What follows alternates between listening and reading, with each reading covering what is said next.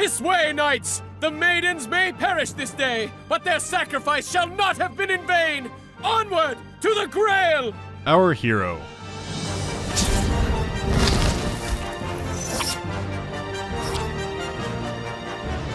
I'd wager most people know the basic story and characters from the King Arthur legend, which is good because this game isn't going to tell you much, which is ironic with a big title like Legion The Legend of Excalibur. It was created by Seven Studios, founded by ex Westwood developers, and naturally it was going to be a strategy game, which it still kind of is. By the time it came out exclusively for the PS2, it was more of an action RPG.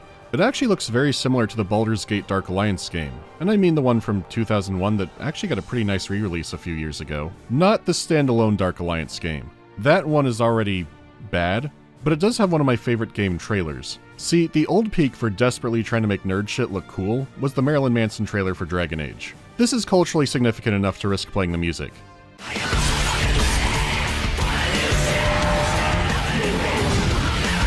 That was strong enough to hold the crown for nearly 15 years until Dark Alliance broke out the GoPros.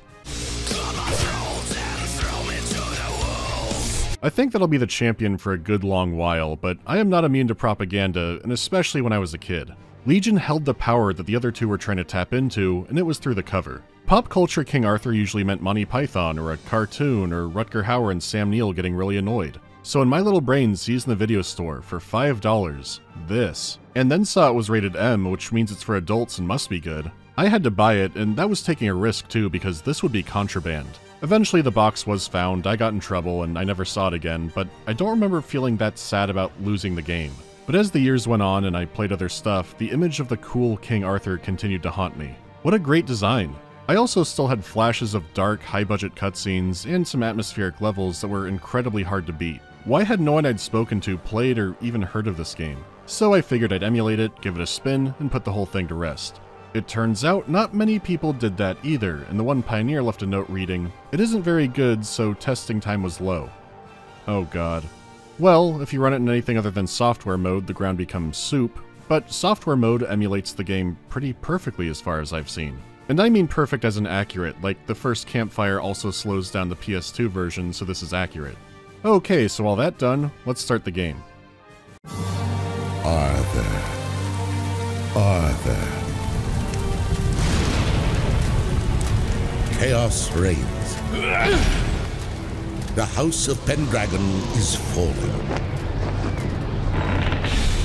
Morgan Le Fay, sorceress of the underworld, has taken up arms against her father, Uther, King of England. Okay, I'm not gonna do It Wasn't Like That in the Legend, or else we'd be here all day. And the Arthur Legends did come in all kinds of versions, even back in the time period. It's still worth noting that this might be the most heroic Uther Pendragon portrayal. I don't want your love, Father. I want your kingdom. Morgan Le Fay has been gaining power through her dark sorcery, and Uther Pendragon could put her down. But in this case, he is held back by his love, and instead sends Excalibur into the famous Palantir, which of course allows her to Wolverine him.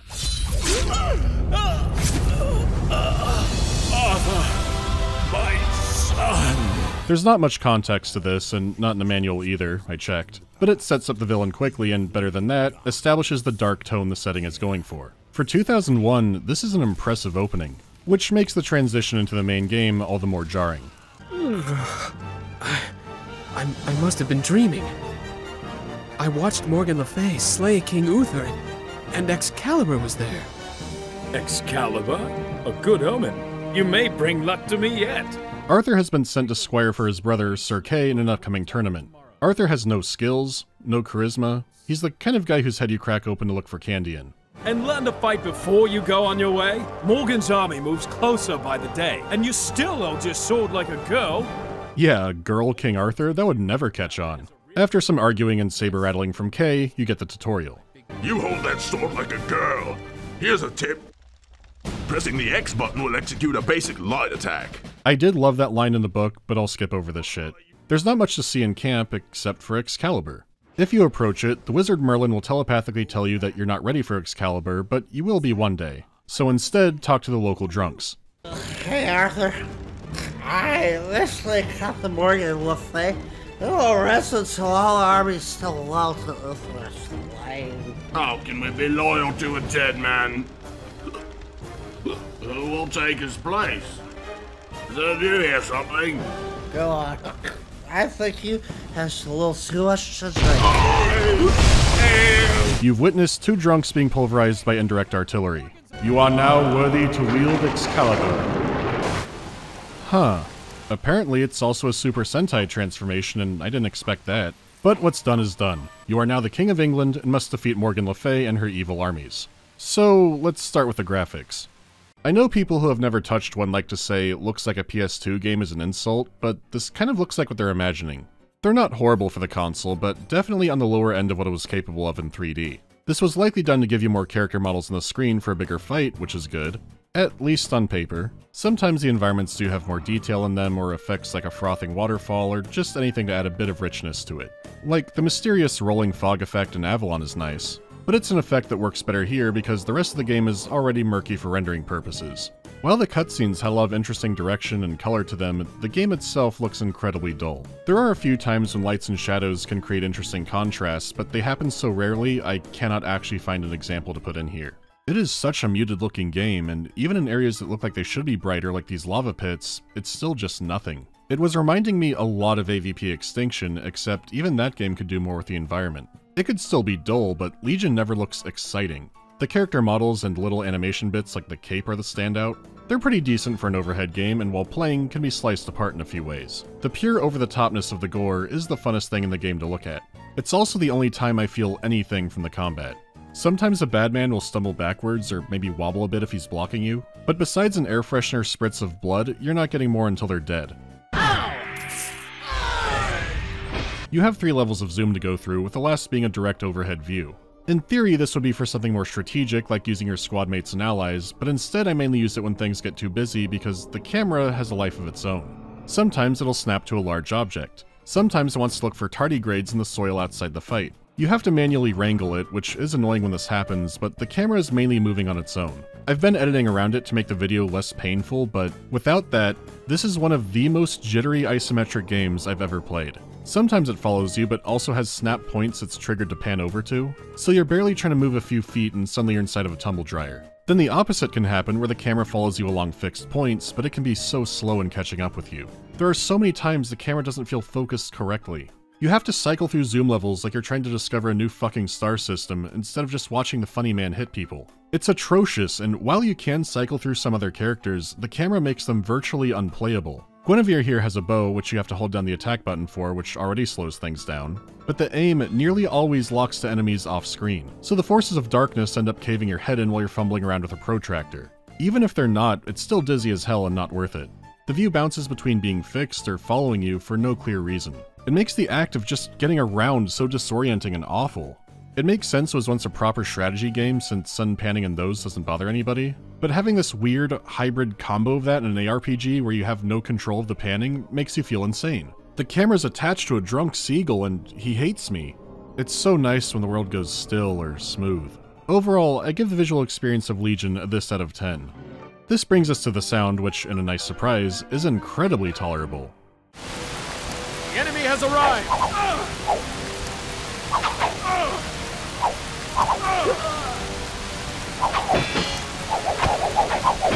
It's not great, it's generic and repetitive, but it's not attacking me, and that's where the bar is now. The combat sounds are lacking and the timing of some effects like the gore and screams do seem off. Not all the time, but sometimes you see a man explode and three seconds later hear... And that's clearly incorrect.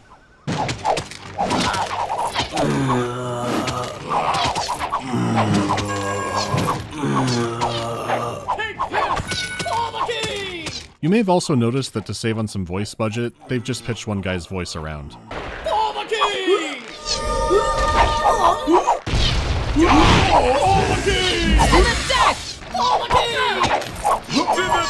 It's quiet. Okay, I take it back. They're not around all the time, but the random foot soldiers are incredibly grating. The stock battle sounds are serviceable, and the ambience is fine too. It is basic and would not stand up on its own, but the music does cover for it. The soundtrack is something you would pick out of a jar called Adventure Fantasy Game. Lots of strings and horns, very upbeat.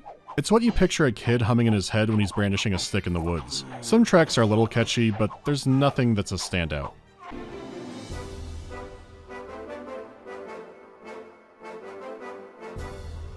For honor! Can you shut the fuck up during the music section?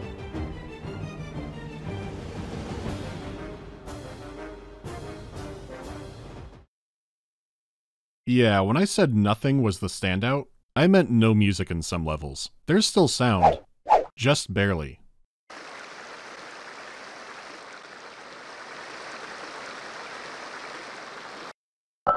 I don't know how this happened, and yes, it's like this on native PlayStation as well.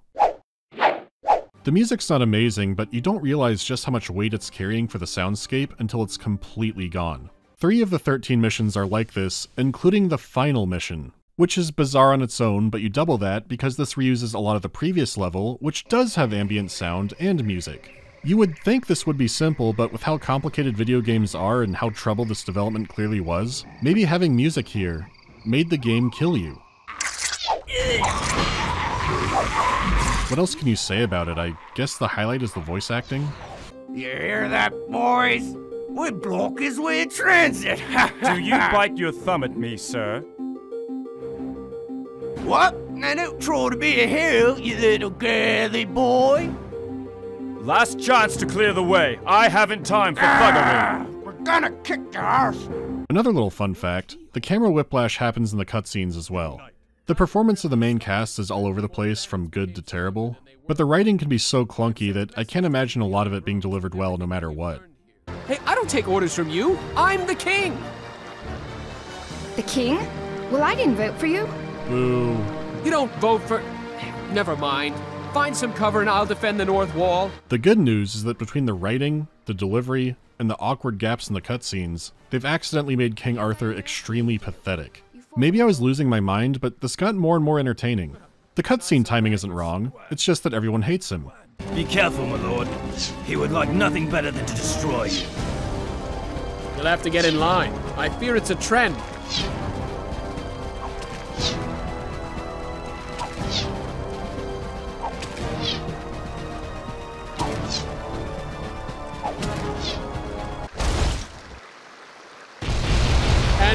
You exactly? My name is not important. I just fucking hate this world. The sound design is also somewhere down in the lake. But despite everything, can the fun of the gameplay salvage it? Well, no. Going back to the basics, combat is simple. As we all know, hitting X is your light attack, and square is your heavy attack. Hit both at the same time and you'll use a dragon attack, which drains a lot of your stamina. All characters have an ultimate move like this, but it's usually just the same kind of AoE. Spellcasters also just use stamina and don't have magic with a K or something like that, so the combat is kept simple. You also have a block which you can kind of time with early enemies, and it's actually a lot better here than on the PlayStation. Some enemies can be jittery and it's hard to time the attacks, especially when there's like 8 of them, but the PS2's frame rate was all over the place, which made timing this even harder. It won't matter too long because Legion becomes a lawn mowing adventure. That said, there are combos, but it's not mixing your light and heavy attack. Instead, you do it by light attacking. If you attack and sit a moment, your sword will flash. If you hit X on each flash, you do more damage, and eventually a girly twirl. Characters have their own version, but it's always mashing the X button.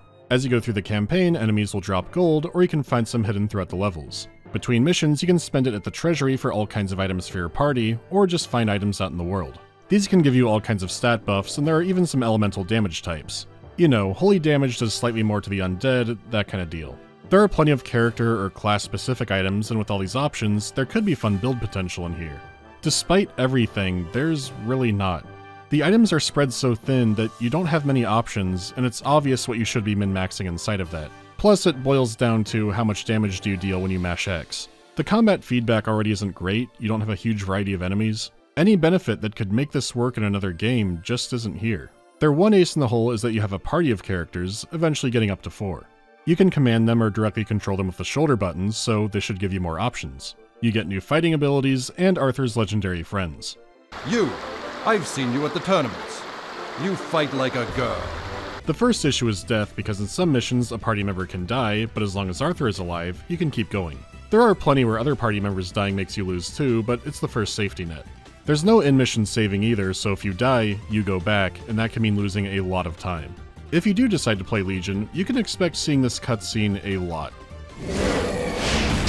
Leaving Arthur unattended is generally a bad idea. Your AI companions are going toe to toe with bacteria when it comes to decision making. They fight slowly and poorly, and you constantly have to summon them over to you. And sometimes, for reasons I don't understand, in certain missions, companions can't use the summon command. Which is a problem when they like to stare at the walls, but even if they're booking it to you, they can get stuck on all kinds of things. Or just flat out stop for no reason. Out of the game's 13 missions, one is completely optional. You can free a bunch of dwarves from Morgan's slave mines, and this will give you more items, money, experience, and the dwarf companion, Anguish. The mine certainly has Anguish, I have suspicion this mission was made optional purely by how often everyone gets stuck inside of the hallways. Even Merlin tries to TCL his way out, but he can't do it. You can get stuck inside crowds of your party members and NPCs, and this can and will happen on many more missions. Jesus Christ, get me out! This is not an adventure. This is herding cats. The chairs at the round table need roller coaster restraints for them. Like, take Percival. You meet him, he's your holy healer, so he should heal the party. Dear Lord, I see dead people! Instead, he never does it, even at full stamina when everyone, including him, is injured. So you have to manually grab him sometimes and force him to do a heal, which is like a ranged attack, and this is assuming he's not stuck somewhere. You're getting them all slowly through the campaign as well, so they won't be as leveled as you or your first party members. So you have to find areas to grind to level them up if you want to play as them to have a chance, but some missions you can't take them along or the companions are already chosen. And again, you're mainly still hitting X unless you have some magic, and most magic is ranged, and ranged sucks. So it's not even a murder hobo gang. You can't have a murder hobo gang if half are shuffling around to a different bus stop. Come back! I mean, who are we kidding? The game's fucking terrible. But here's the thing, right? I can't even fully blame the NPCs for getting stuck, because I do too. There are several bosses that I've lucked out on because they've gotten stuck. And you could be saying, oh, that's a shame, if it was polished up it could be fun, but no, no. These missions. Oh my god. To be fair, some are simple, unremarkable, clear out the bad men ones, but some are so bad that they left an imprint on me even if I couldn't remember the mission itself. A prime example is on the second level, you're supposed to destroy a bridge before Morgan Le Fay's army crosses it. But I remembered I should go into this corner and start grinding. The bad men come in waves forever here, so you can rack up some easy levels. I remembered to do this because I had to restart the entire campaign back in the day since you only get one save slot. I learned it through a walkthrough and couldn't remember a lot of the game, but could remember this. It was because I'd been stuck in the Black Knight mission and couldn't reliably grind it back then, so I just restarted the whole thing. So I thought I was preparing for that, but a few missions later, you have to defend a village from bandits. You need to travel the map and hunt down the Bandit King, but if a bell rings, it means the town is under attack again and you have to go help, because if you don't, they'll all die and you lose.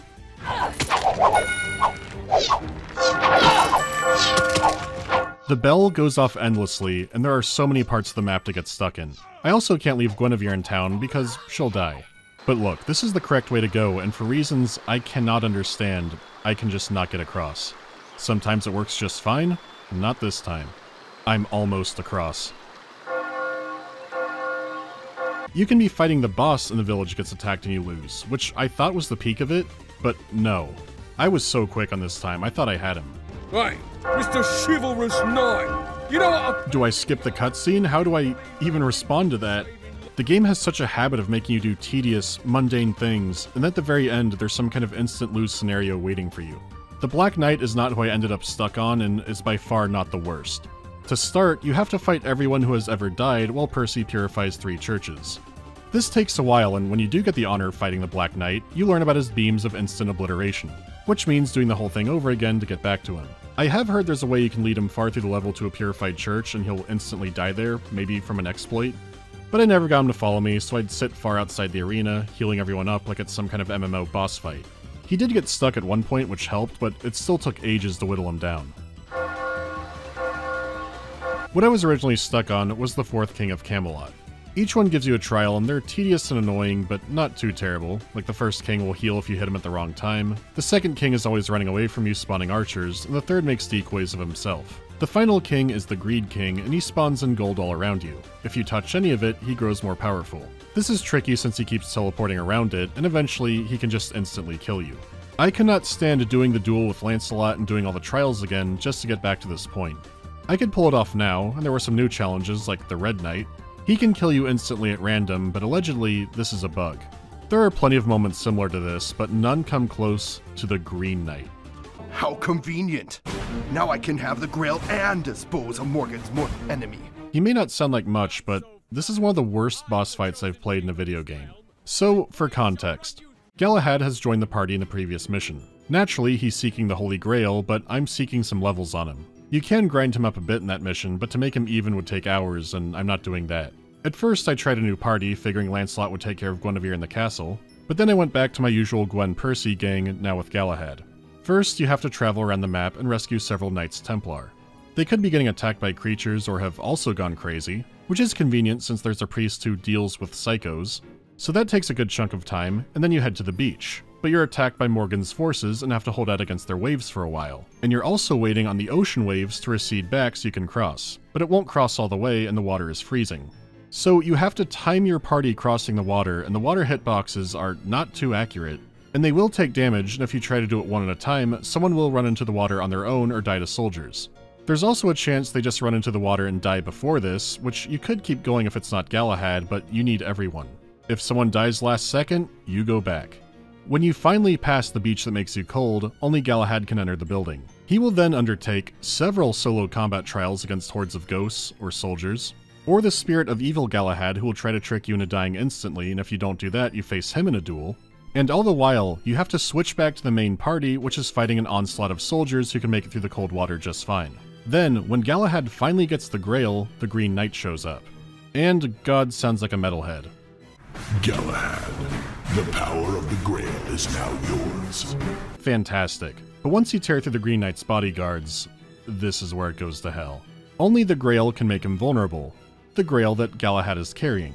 So Galahad has to grind up on him with the Cup of Christ to make him vulnerable to damage, but he teleports constantly. If he's not in Grail vulnerable mode, the attacks heal him, and the green squares he's on heal him and damage you. And the more damage he's taken, the faster he teleports and the faster he regenerates. This fight feels like a genuine insanity test. I thought there was a chance I wouldn't be able to beat the game or else I'd have to start over and really grind up Galahad. Because his class is a cleric, so even with great items, he doesn't do a ton of damage. I also tried moving the entire party away so only Galahad could do damage to him, but his output is so low there's no chance of doing any meaningful damage to him before he teleports and starts healing it up again. And if you somehow luck out and do, he starts teleporting faster and you'll never catch him. Where the Green Knight is running doesn't always mean he'll teleport there, and even if he does, you're not going to do much. You need the whole gang to lay into him, but only when Galahad is close, and he's constantly moving around. And he's still dishing out damage, so sometimes you need to retreat and heal up your own guys, and he's already healed by then. And if you die, you go through everything all over again. Good god.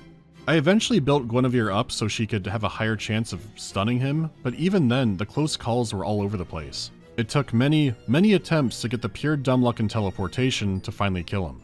This was miserable. I didn't know a game could still make me feel this way. He's spiritually the final boss and embodies everything this game stands for. Lots of tedium with an occasional death ray. You may wonder why I'm brushing over the story, and I would say, what story? Character-wise, after many adventures, I guess Arthur learns how to hold a conversation. Did anyone ever tell you that you hold a bow like a girl? Never mind. It's a collection of missions with barely any context connecting them. Kill the next person at the next location. The round table sure seems important, but what is it? It gets one mention. People of Camelot, this castle has been restored. Morgan's tyranny goes no further. My knights now have a place to call home. We have a base of operations. We now have a round table. Does he know how that sounds? That's meaningless. Good people, we have a castle. We own an ottoman. I don't care. And the game doesn't either because when you finally do get to Morgan, she has no voice acting. At least until she does.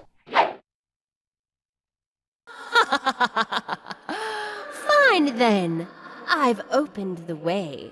Come face your death. She dies so quickly. After all these years, I didn't think it would end quite this badly, but that's how things go sometimes. No! Ah! Master! Why? Give me another chance! I have them now!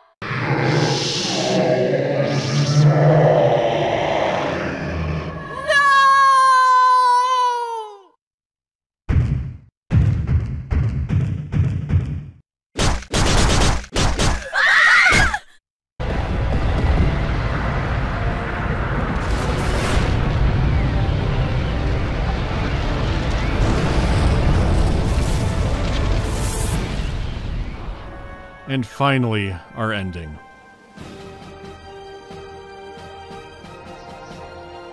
what? What's happening to his arm? Then it sends you to the main menu. There are no credits, your save is wiped, enjoy your day. Whew. The extras menu has cutscenes that never appear in the game, likely made for the old strategy version. Which do look great, but there's no telling how the game itself looked at this point, especially when it took such a big shift. There's also a trailer for the Defender reboot, and I'm realizing that's why I bought the Defender reboot, but I remember that game being fun. Wasn't it? They also have an entire sequence telling the story of the Sword in the Stone, just not the one they used in the game, or anywhere. I'm okay with this being a mystery. Everyone has that bad game they have fond memories of, and this one is mine with a very large gap between those two. It can still be fun and satisfying to mash a button and watch someone die, but there are far better games for that. This is a miserable, terrible, broken game, but I will remember it until the day I die. I guess this is my chance to read about other people who also played it, because in itself, the only remarkable things are a striking design for a suit of armor, and the level of pain it can dish out. Everyone has their own unheard of, not needing to be dug up game, and this was mine. It feels like a long brain itch taken care of. Anyhow, there has been a lot of fantasy lately, and I don't want to get back into the Warhammer stuff yet, so come back next time for a sci-fi turn.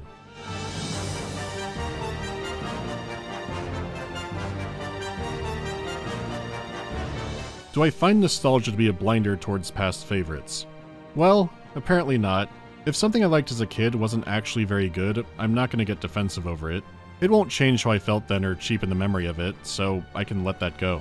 What are my thoughts on devs being scared of Baldur's Gate 3? All the ones I know are playing it and really excited and happy about it, so maybe I missed something, but I'm not sure where that's coming from. I found that lots of people who work on video games also tend to like them. Any opinions on Tim Cain's new channel? Yeah, it's excellent. Tim Cain's YouTube channel is great. It's not always pure game stuff, but he's great at telling stories, and that's what he does. When does the Reclaimer glyph brain poison end? Sadly, I think that is there to stay. I've had people ask about lots of background details in non-Bungie videos where they think they're seeing it, and I'm not sure most of them are there. I could be wrong though, you never know.